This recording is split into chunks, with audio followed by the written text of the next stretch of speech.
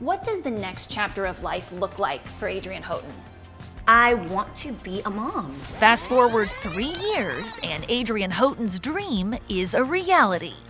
I think that would be like the next chapter is building a family and um, still being able to do all the things that I do, but at the same time, I just think that would be probably a great way for my life to come full circle. So that's what I'm most excited about. The triple threat shared the big surprise on Tuesday, announcing her bundle of joy with this stunning black and white image on Instagram. Adrienne and her husband Israel Houghton cradling their newborn son named Ever James.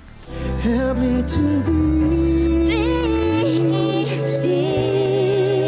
In the caption, she touches on their challenging journey to baby. Quote, We have quietly prayed while sitting on this most magnificent secret for the last nine months. He is worth every tear, every disappointment, every delayed prayer, every IVF cycle, every miscarriage, everything.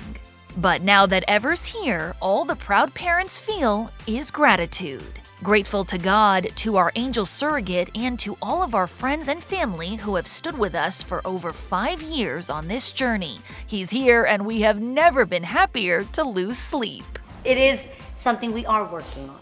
I love that. That's a good time. Thank you. Adrienne's never been shy about sharing her story with fans. In May, before wrapping up the Real, the co hosts shared promises they made to themselves. Adrienne's was to start a family.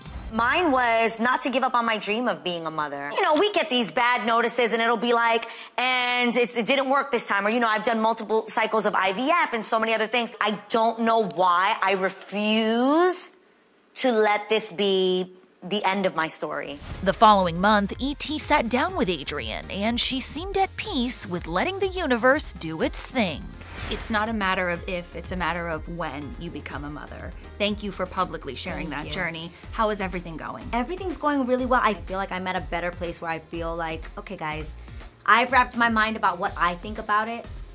Especially now with social media, it's really hard. And even with a show like The Real, I felt like had I been talking about it on The Real, people felt that they could speak into it. And I was not prepared for that. Little did we know at the time that Ever would soon be here. And I think that's okay to recognize what you're ready for and what you're not. Yeah and hold sacred to you what is sacred. And when asked about turning the big 4 0 next year, Adrienne made it clear her top priority health and wellness. What are your three big goals for this next decade? I want to be that like healthy person.